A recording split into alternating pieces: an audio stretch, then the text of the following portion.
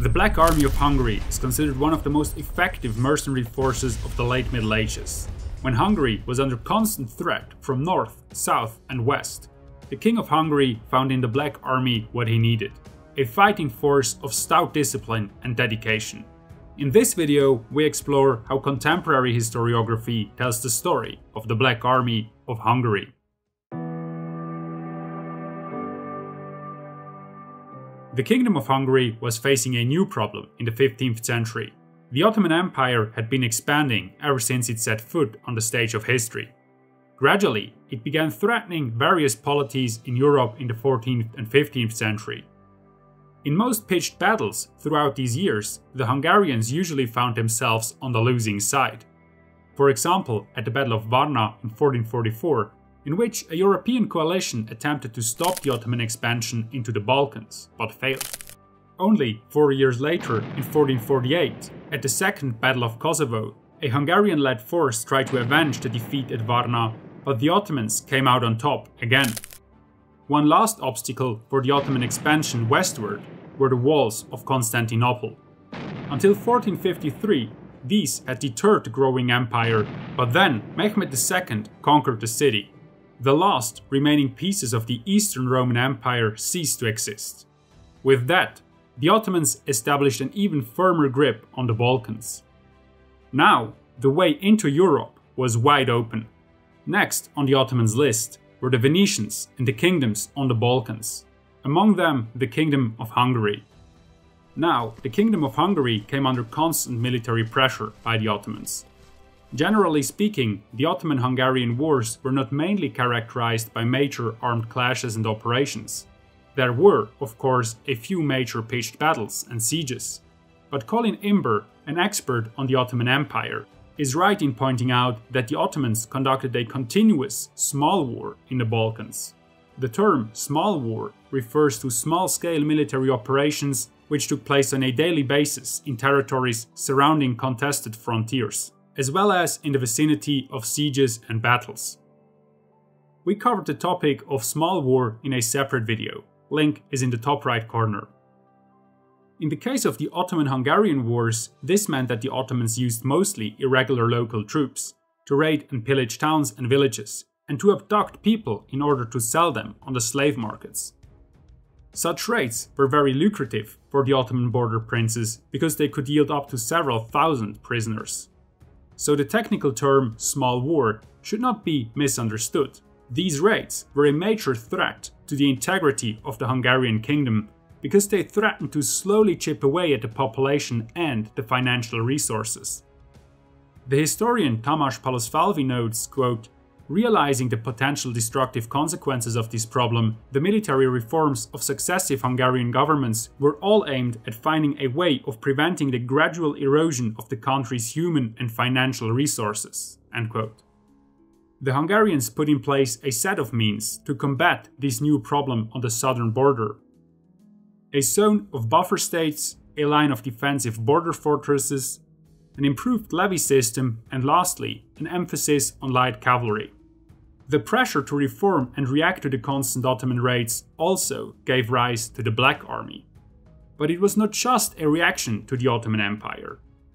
In 1458, Matthias Hunyadi emerged as new king of Hungary.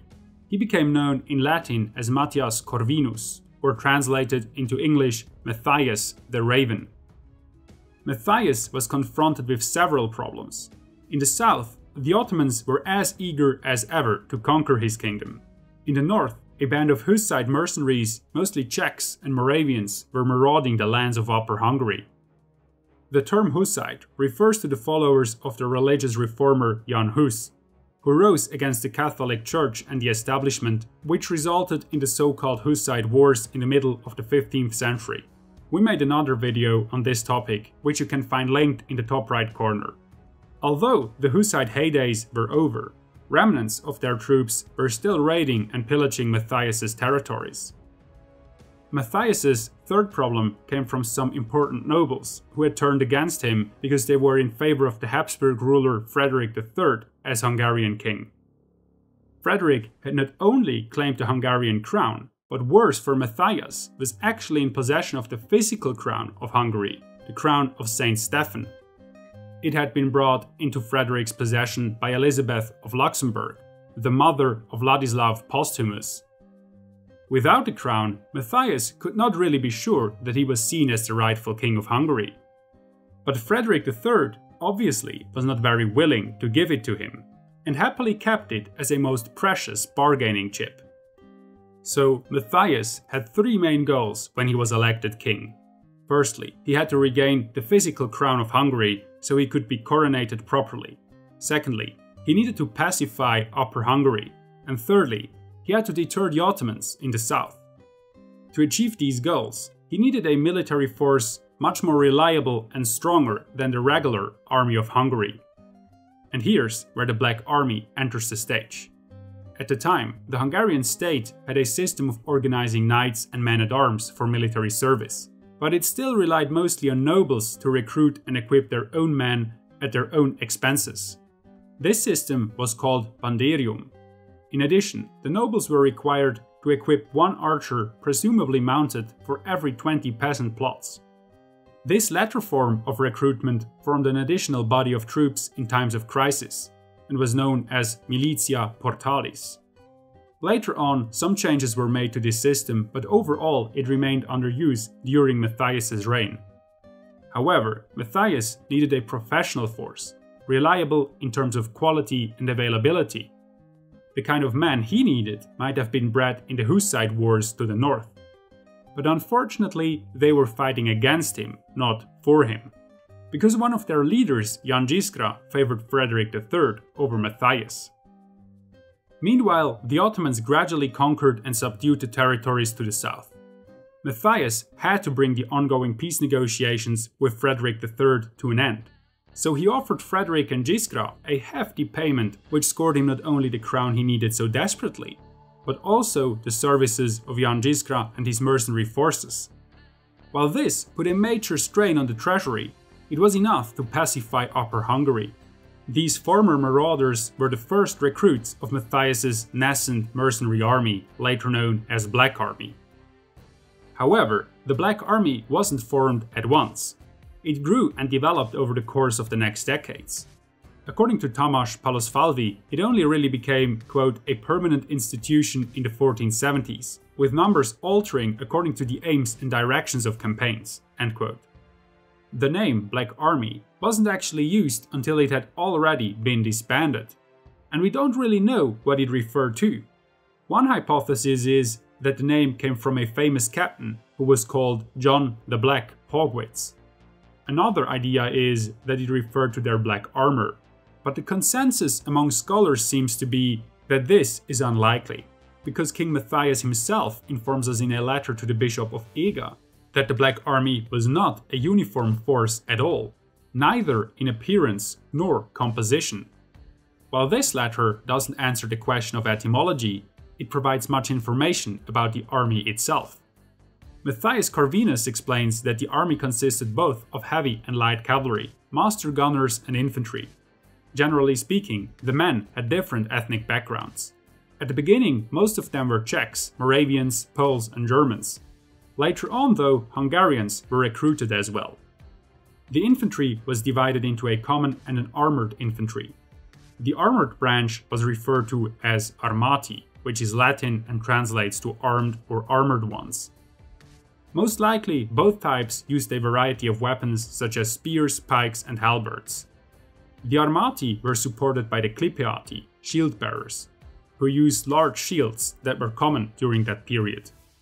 Matthias mentions that they formed a circle which had, quote, the appearance of a fort, from which the infantry fights almost as if from behind bastion walls or ramparts, end quote. So their formation resembled a moving fortress of shields and pikes, which allowed the men with shorter weapons to sally forth and retreat into the square. The same goes for archers, crossbowmen, and gunners. All of that is very much reminiscent of the Hussite wagon fort and the Swiss pike square. But in contrast to the Hussite and early Hungarian armies, the Black Army relied less on war wagons to defend themselves. Their circle formation, it seems, was a combination of Hussite and Western pike square tactics. In general, the defensive nature of the circle made the best use of early gunpowder weapons while still allowing a defensive formation to move as one coherent unit. Today, a medieval circle formation is not as useful anymore in terms of defense as back in the day. Today, you need something else to protect both your privacy and the connection between your device and the internet NordVPN, the sponsor of today's video. We like Nord because it is safe, was rated the fastest VPN in recent speed tests, and has gotten good reviews across the board. NordVPN now even comes with a threat protection feature that protects you from unwanted tracking, malicious websites, infected files, and annoying ads. You can easily turn it on via the shield icon in the left sidebar. This way, you'll be fully protected regardless of your VPN connection. NordVPN is super easy to use and can be used on up to 6 different devices simultaneously. Up your privacy game now and support our channel by clicking the link in the pinned comment and description and get NordVPN for 2 years and 1 month with a huge discount. All of this is entirely risk-free thanks to Nord's 30-day money-back guarantee. When focusing on the Ottoman War, the most important development during the reign of Matthias was the expansion and growing importance of light cavalry forces. These came to be known as hussars. They were mostly armed with bows, crossbows, lances, shields and sabres, and were somewhat modeled after earlier versions of light cavalry in the Balkans, but were also inspired by the Ottoman light cavalry. The origins of this kind of cavalry might be in Serbia, but this is still disputed. In any case, the Hungarians needed this light cavalry for constant raids and counter raids on the southern border.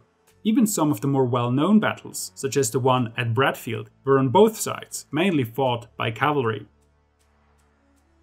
In another letter, Matthias estimated that the size of his army was around 20,000 cavalry and only 8,000 infantry.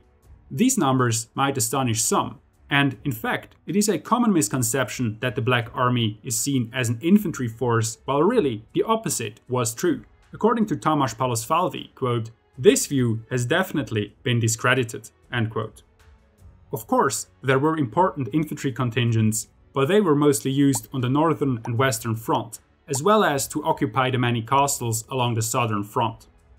This chain of fortresses, running from Szörényi all the way to Belgrade, was the real backbone of the Hungarian defense. Some of these forts had been established earlier, but they were continuously improved and were ideal bases for both counterattacks against the Ottoman raiding parties and major campaigns. The infantry was also important for the many sieges, but rarely fought in major pitched battles. On the southern front, however, there were two noteworthy examples. The sieges of Jajce in 1463 and Szabács in 1475. But overall, the infantry branches of the Black Army were much more active on the northern and western front. There, the conflict with Frederick III had once again erupted. Here, they waged a war of attrition, with continuous sieges and small-scale attacks on fortifications. Palosfalvi explains this as follows, quote, The neglect of infantry on the Ottoman front was a necessary development insofar as the king aimed to avoid, from the very start of his reign, an open clash with the main Ottoman army, and the forces commanded by the Turkish warlords along the border were also predominantly light cavalry. Despite his tremendous efforts, Matthias simply could not take on the Ottomans by himself, and only little support came from other European states and the Pope. Well aware of this, he put most of his energy in fighting off his enemies to the north and west, in which he was quite successful in the end. The Black Army even went on the offensive and laid siege to Vienna in 1485.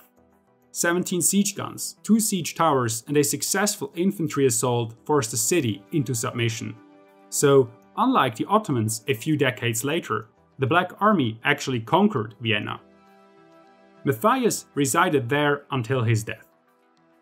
His strategy of avoiding a major conflict with the Ottomans paid off when Mehmed II died in 1481. His successor, Bayezid II, was much less interested in a war against the Hungarians. However, despite a somewhat peaceful relationship with the Ottoman Empire, the Ottoman border princes never ceased their raiding parties on Hungarian territory, so Matthias needed to guard his southern front permanently. Besides the Black Army's infantry corps in the north, the Hungarians had to finance another army that guarded this front. If we count the Banderial force that could be recruited as well, Hungary had three different armies, most of which were in permanent use for years. Ultimately, the high maintenance cost overstretched the kingdom's finances. Tamas Palosfalvi sums it up nicely, quote, In view of the fact that the richest monarchy in Europe, France, only made the first steps towards establishing a permanent army in the second half of the 15th century, and the Republic of Venice also long refrained from retaining great numbers of standing troops for financial reasons, it is evident that the military efforts of Matthias were groundbreaking to say the least. However, the added cost of all three Hungarian armies in general, and the Black Army in particular, were a major reason for Hungary's decline after Matthias's reign. This financial burden was simply unbearable. Hungary simply couldn't afford the Black Army any longer. It was abandoned shortly after its creator Matthias Corvinus died in 1490. Thanks for watching and thanks to our patrons for supporting the channel.